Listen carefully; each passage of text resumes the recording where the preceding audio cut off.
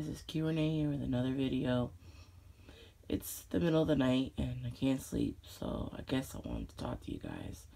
Like, comment, subscribe. Um, I have so much going on in my mind that I just want to do a video.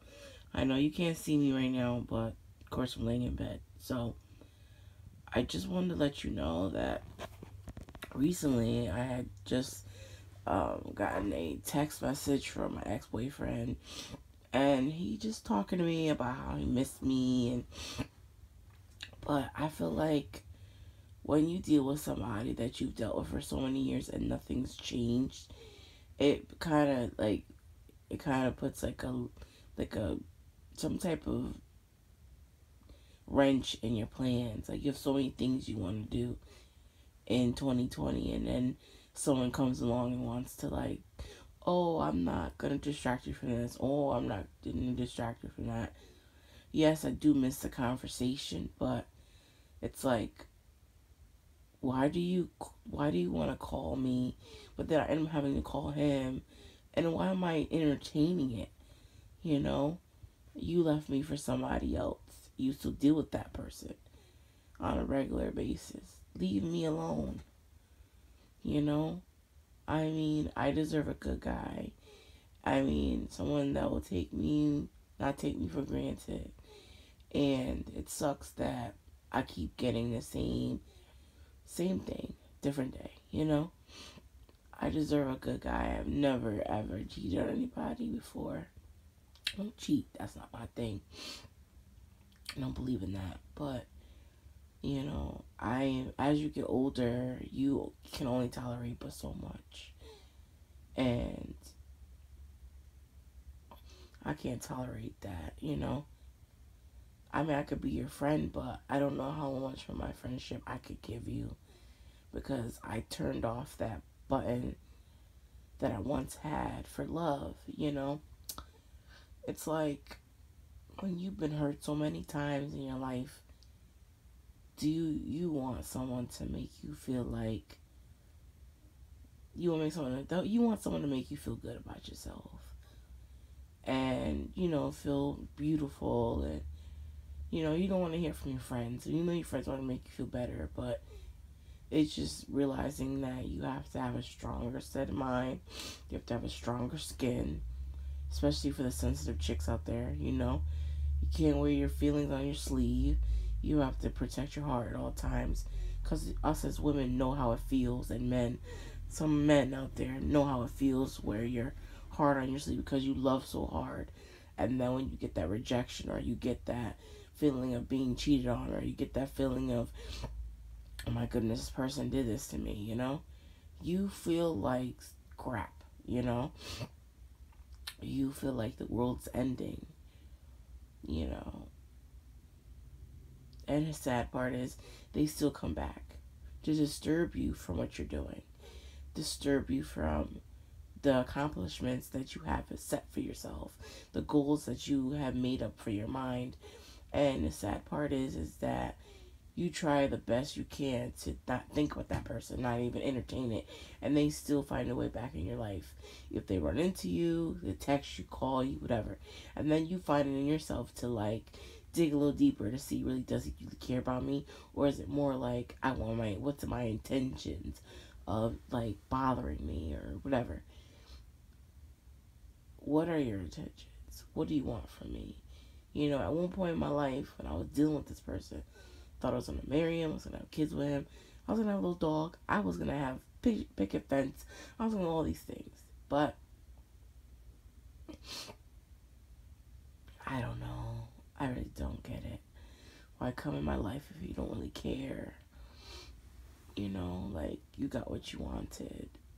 You got what you wanted, you know. It may not be money, but you took my heart and you just like dismembered it in so many pieces that you that when I got my heart back, I couldn't even I couldn't even recognize it. And that's what usually what happens to us girls and females and males. We are taking them. We're how you say it, like they don't care about our feelings at all.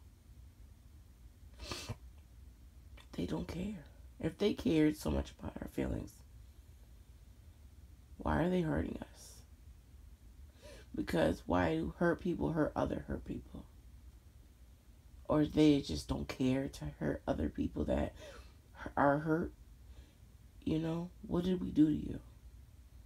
That you gotta mess with our heart, take it apart, stomp on it, cut it in little pieces, and then give it back to us. And we're supposed to like mend it, sew it back together, velcro it, staple it back together, and try to live a good, better life. And try to let yourself meet new people, but you can't because you're so stuck on what you had before. I mean, just it just sucks because I miss this person so much, but my mind and my heart can't attach to him at all. Like it's like I just eh, I I just he's like a mystery to me. And when you have that mystery love that like you could see in those books with Fabio and you know, you, you want him to just like pick you up and kiss you and make you feel beautiful and and talk sweet nothings in your ear. Not like that kind of mystery love. It's like it's like a like a distant type of love. Maybe that's what I mean. I have love for you, but I'm not in love with you anymore. You played me so long. You took me for granted. You don't care about my feelings. You just stomped on it and didn't care. Like you did the most for what? Like who does that? I deserve the things I deserve. Is a good list, a guy that listens, a guy that likes to cook, a guy that likes to travel, a guy that's just all around open minded, a guy that's looking for love, a guy that doesn't mind the challenge of helping a female get to where she wants to be, just like in an emotional manner. Like, you know, teaching her about romance and making her feel important and making her feel loved and someone that's gonna like talk to her and, and keep up the conversation even after you meet the person and someone that you could just interact with, someone that you can feel their embrace, someone that just makes you grow as a person, someone that just loves you, someone that just talks about you all the time, someone that doesn't drink a lot, someone that doesn't smoke, someone that just takes care of themselves. Like, I deserve those things. I don't deserve, I'm not saying I should have a cookie cutter Kai, but darn, I don't ask for much. um, but as I rant a little bit more, this is not a video to see me, this is a video to hear me. So for all the people that want to see my face at 1 something in the morning,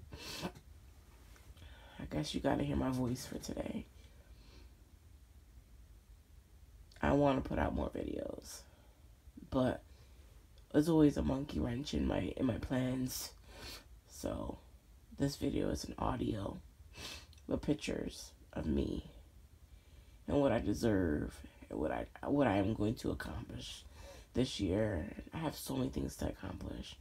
I want to go back to school, but there's an issue with that. Then I want to get a place. Then there's an issue with that.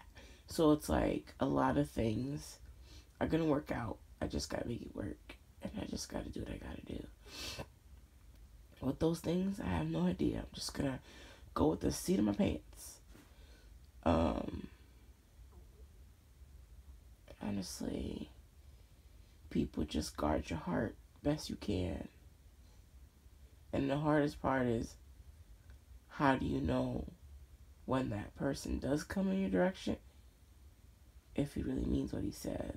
He's going to do what he says he's going to do. And mean it. And not take you for a ride, an emotional roller coaster ride that you can't get off of. and comment, leave a comment, like, subscribe. More videos are coming. more videos like this might come because I feel like I'm an audio type person. So, have a good night. See you in the morning. Bye.